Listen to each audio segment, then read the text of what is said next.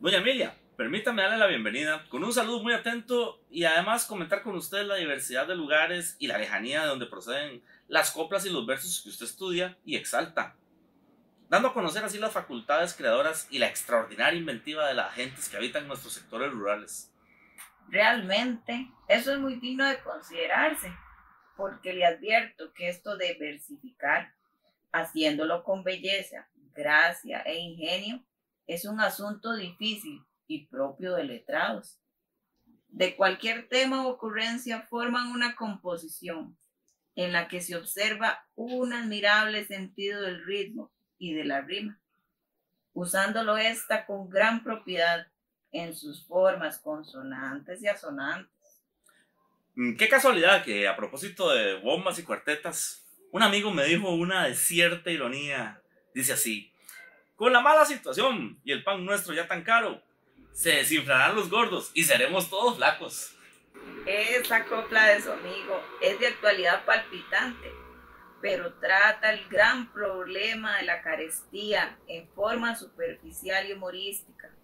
Algo parecido a aquel decir de me río por no llorar. Si me hace el favor, leerá las siguientes coplas, que son inflamatorias y jugosas. Quisiera ser perla fina de tus lúcidos cachetes, para chuparte las orejas y morderte los cachetes. Dicen que a todas las suegras las están tirando al mar. Con razón, ahora la mía está aprendiendo a nadar. Son fulgores celestiales los que lanza tu mirada. Yo quiero quemarme en ellos, mujercita idolatrada.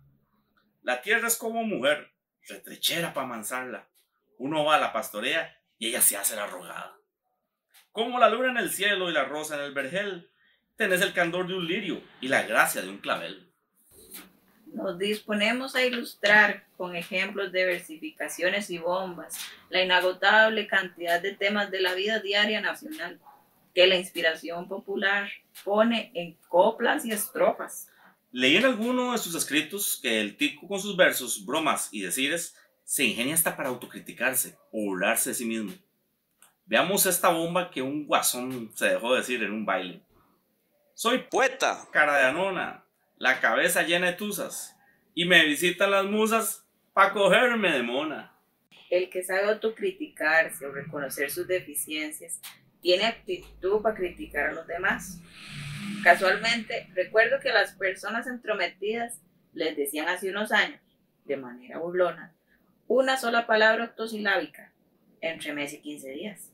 Ese calificativo era el inicio de una bomba que le recitaban a los cavilosos. Entre mes y 15 días me voy para Punta Arenas a ver los entrometidos amarrados con cadenas. Oiga, también recuerdo otro verso muy divertido y muy cierto que decía, el que espárragos come, bebe cerveza y besa a una vieja, ni come, ni bebe, ni besa. ¿Y la canción inédita de hoy, cómo se llama?